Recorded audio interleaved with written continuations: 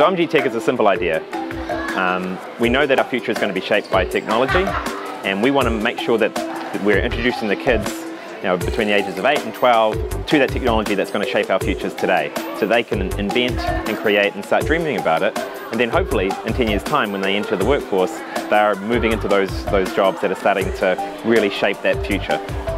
So I'm one of the co-founders. We co-founded OMG Tech um, about two years ago and already we've put thousands of kids um, through these workshops and we're starting to roll out these workshops nationwide and we're starting to work a lot closer with uh, the Ministry of Education as well. Our vision is to get all of this great content, all of these great tools um, and all of this uh, interesting action that's happening in the workshops into the classrooms and schools um, because our, our goal, our vision is that we want to have every single kid in New Zealand exposed to some crazy new future technology and chances are if we do that then we're going to build the next generation of tech heroes.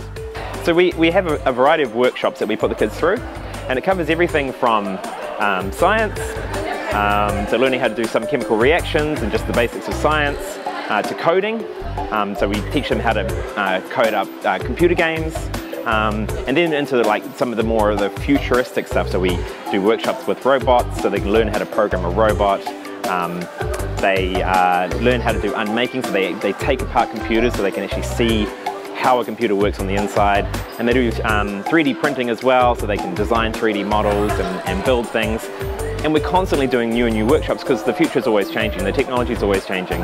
Um, we do workshops with drones, um, you name it. If there's something cool happening in technology, then we build a workshop around it and then get it in the hands of kids. So values are very core to everything we do. So um, one of our core principles is that is around diversity. So in all of our workshops, it's always 50% boys, 50% girls.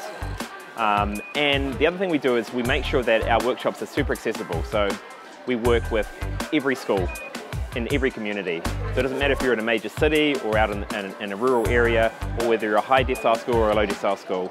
Our workshops are engineered and designed so that every school should have a level playing field and can learn the same tools.